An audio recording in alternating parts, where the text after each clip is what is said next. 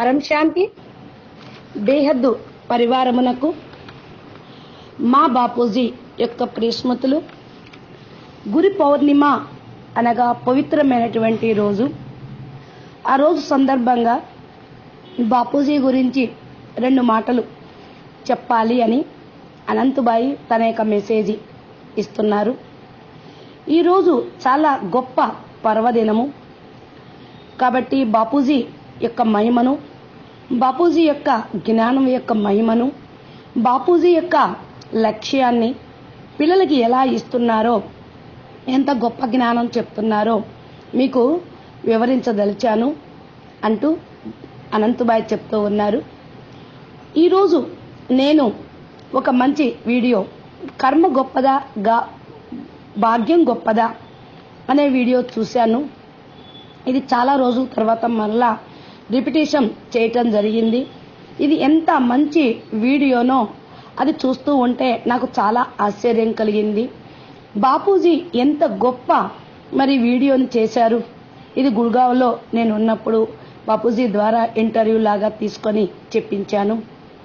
దీనిలో ఎన్ని గొప్ప రహస్యాలు ఉన్నాయో ఎంత సాధారణ భాషలో అవి కూడా స్పష్టం చేశారు అని నేను చాలా సంతోషపడ్డాను.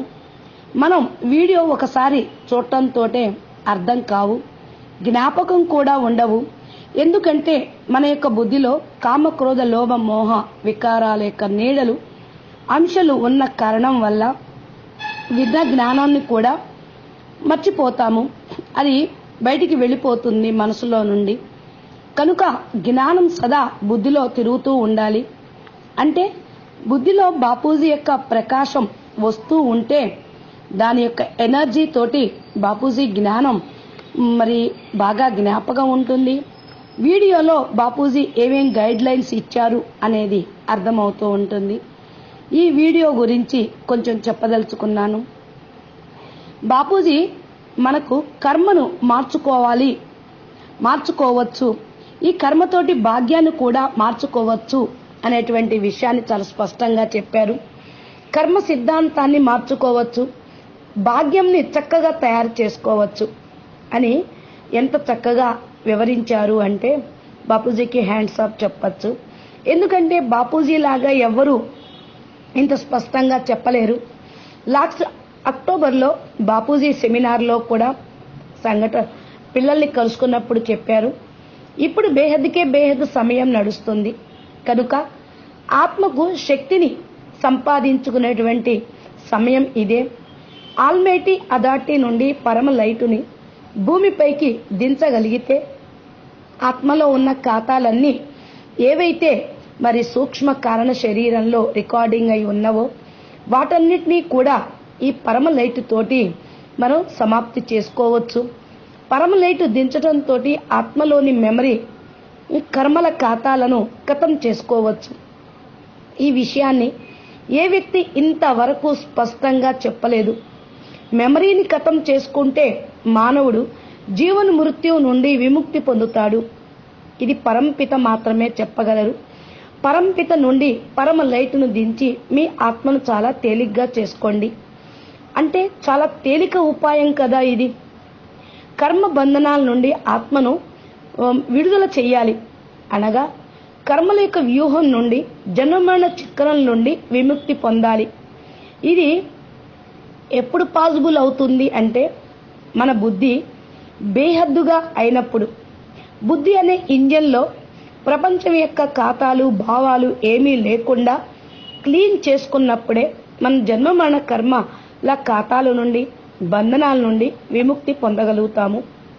కాబట్టి మనం ఈ మాటలన్నీ బుద్ధిలో ఉంచుకుంటే మరి ముందుకు వెళ్ళిపోతూ ఉంటాం.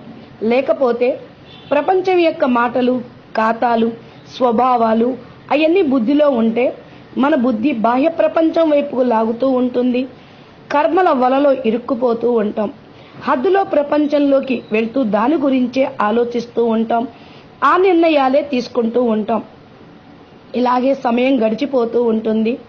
బేహద్దు బుద్ధిని తయారు చేసుకున్నటకు బేహద్దు బాపు యొక్క స్మృతి మనం తప్పకుండా చేయాలి బేహద్దు పరమ లైట్ను దించుతూ ఉంటే మీ ఆత్మ చాలా పవర్ఫుల్గా అవుతూ ఉంటుంది. అసలు ఈ మాటలు అంటుంది ఎవరో మీకు తెలుసా? పరమ లైటుని దించటం ఆత్మను పవర్ఫుల్గా తయారు చేసుకోవటం బేహద్దులోకి వెళ్ళటం ఈ మాటలు సామాన్యులు ఎవరూ చెప్పలేరు. ఇవి ఎంత గొప్ప అద్భుతమైనటువంటి విషయాలు అంటే ఆ చెప్పే వాళ్ళ యొక్క లక్ష్యం దీంట్లోనే మనకు కనపడతా ఉంది. నిజంగా మనసు పెట్టి బుద్ధి పెట్టి చాలా స్పష్టంగా క్లియర్గా మనం వింటే మనకు అన్నీ అర్థమైపోతాయి. మరి ఈ భూమి మీద ఎంతో మంది సాధువులు మహాత్ములు వాళ్ళ గురువులు వాళ్ళ యొక్క పైనున్నటువంటి గురువులు వాళ్ళ శక్తి కొలది జ్ఞానాన్ని చెప్పారు.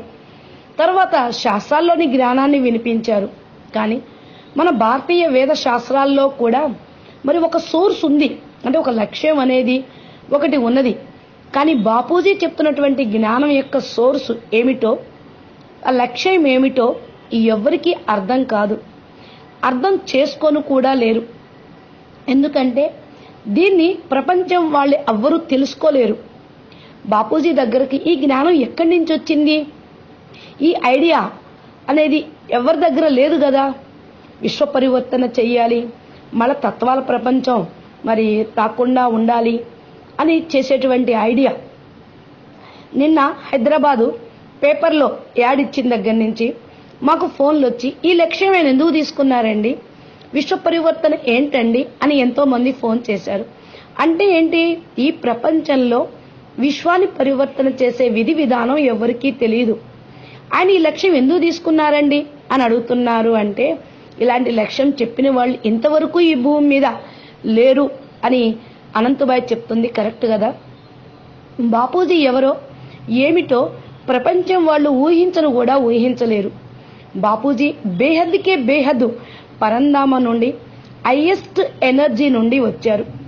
బేహద్ బాపూజీ యొక్క అడ్రస్ ఈ ప్రపంచంలో వాళ్ళకి ఏం తెలుసు? ఈ పవర్ హౌస్ అనేది ఎక్కడ ఉందో వాళ్ళకేం తెలుసు? ఈ సోర్సు అనేది ఇంకెలా తెలుసుకుంటారు? పరం లైట్ను మనం తెలుసుకోవాలి. బేహదు శక్తులు మనం పొందాలి అనేటువంటి ఆలోచన మనకే కలిగింది. అంటే మనం ఎంత భాగ్యశాలి ఆత్మలమో చూడండి. అంటే మన భాగ్యము కర్మ బంధనాల నుండి మన విభుక్తి కూడా చేస్తూ ఉంటుంది. ఇది జ్ఞానం బుద్ధిలోకి వెళ్తున్న కొలది బేహద్దు బుద్ధిగా అయితే బేహద్దు జ్ఞానం అర్థం చేసుకోగలుగుతాం. బేహద్దు బుద్ధి బేహద్దు జ్ఞానం ఈ రెండూ ఉండాలి. భాగ్యం తయారు చేసుకుంటకు బేహద్దు పవర్ని మనం పొందుటకు. బేహద్దు జ్ఞానం బాపూజీ ఐదు వందల ఆరు వందల వీడియోల ద్వారా చెప్పడం జరిగింది. కనుక మనం ఈ యొక్క వీడియోలను డైలీ రిపీట్ చేయటం తోటి మనకు పవర్ వస్తూ ఉంటుంది. మన బుద్ధిలో సంశయం అనేది మళ్ళా ఉండకూడదు.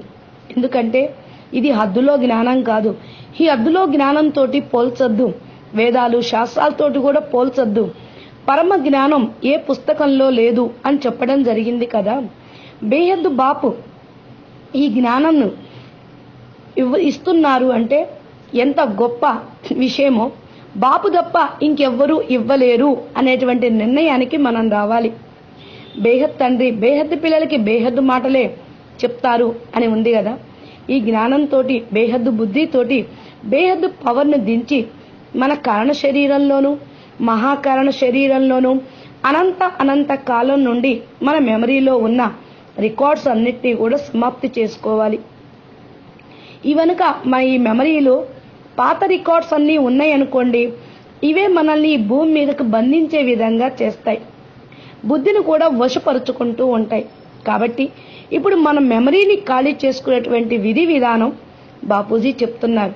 ఈ మాట ఈ ప్రపంచంలో ఎవ్వరూ చెప్పలేదు ఇంతవరకు. గీతలో కూడా ఏం చెప్పారు? సాధారణమైన మానవుడు విషయ వికారాల చింతన చేస్తూ ఉంటారు అని. అయితే ఇక్కడ బేహద్ జ్ఞానం వినే బేహద్ బాపూజీ యొక్క పిల్లలు సామాన్య పురుషులు కాదు పరం పురుషులు పరం లైట్ స్వరూపులు అవ్యక్త పరిస్థాలం బేహద్దు ఆత్మలం. బేహద్దు బాపును స్మృతి చేస్తే బేహద్దు పవర్ వస్తుంది.